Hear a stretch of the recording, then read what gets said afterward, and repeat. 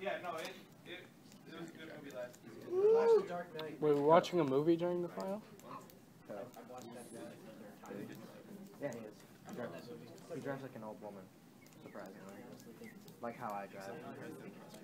What? Oh yeah, with his like We're not watching Who? the like unattractive thing about his car is there's a Honda logo on his engine. I know, I know, and that's what's on it.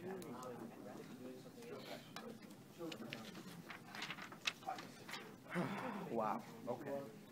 I'm tired. Which problem are we on? Uh, it's his own. that's more similar to the test. Oh, okay. More similar. More similarly. Yes, guys. So is that not the test? Charlie, my mom got mad at me. No, that's not mine. What? Does that say 300? Yeah. It's 30. No, it's Yeah. not degrees, it's pounds. Okay. I was You're right. was 300. not happening. Like, there's no way. Good, good call. I got it. Oh, missed nine. What is that 625 at? Uh, down. So B is three hundred That pounds. that little Yeah, line. B is three hundred pounds, D is six twenty-five, this is twenty feet.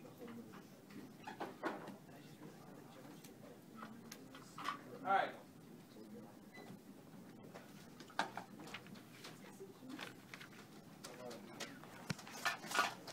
Got a lot going on here. Alright. So again, this is something that is going to be very similar to what's on the test. Are gonna build our trusses? Wait, isn't this like the thing that we were having really To build bad them in Yeah. Yeah, really Kinda bad. We're not doing that? No, we've ran out of time. It's either that or we can cut stuff out of the fish detector time. No, uh, fish detector totally will. Thank you for telling me what to do. It's us. Supporting it. Okay? So, we've got a situation here. What would be, okay, I'm up here, buddy. Oh, Kaz. Alright, so, we need to do some moments here. Right off the bat, first thing we should do is put our reactionary This isn't like the one on the test, is it? It Yeah, is like what the one on symbol is final. Yeah, But like the one that we took So on the test before. have how many this is like it. This is the same one. One reactionary force, so this is R, No. T, and what direction is it? That's uh, we practice more like this. Good job. Here's our point A. We're gonna have how many forces? Two. Okay, so we got a reactionary AY. We've got a reactionary AX. Rex. Rex, oh my god. Shut up. I'm gonna name my kid Rex. Alright, I'm gonna hit you. I wouldn't so, do we have any, right off the bat, we know what the reactionary force, the AX is. Gap zero, because we don't have any forces that are perpendicular distances, okay, in the same direction. So right off the bat, we know RAX is equal to zero. So we'll just, that's fine, we're done with that one. Now, let's go ahead and solve for REY. So if I'm gonna solve for REY, what am I gonna set as my pivot point? Um, A. Point A. So point A right here is gonna be my pivot point. That's my pivot point. How many moments do I have to act with here?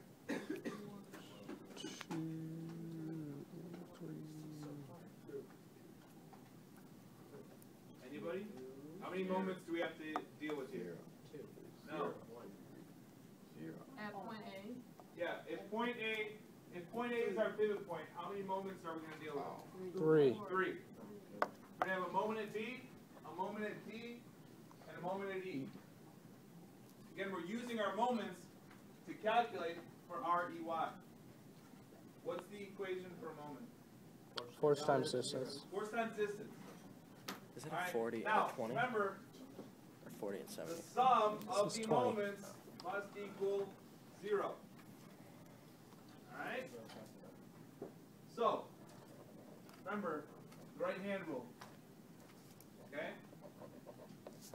Go along with the force and if the thumb is pointing to us, it's a positive force. If the thumb is pointing away from us, it is a negative force. So this one, the force is going down, got a negative force. Thumb's away from us. Here, force is going down. Again, it's that rotation. There's our pivot point. Rotation is going down, thumb's away from us. Negative. Here, force is going up, thumb towards us. Positive. Alright? Now this, the thumb rule only happens for moments. Okay, when we get into force vectors and the truss forces, that's, that's out of the way. Alright? So, again, the way that I do this is I set them equal, I put the positive ones on one side, the negative ones on the other side. You just set them equal to each other. Way to get it to balance out to zero. Kind of, it's got mouth open. Alright? Now, the negative ones, we've got three hundred, we've got point B here, so moment B will be right here, plus moment D, and then moment E is a positive. Oh. E.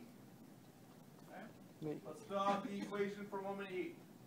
What's our force at moment E, or at E? Um, You said REY, you were correct. yes.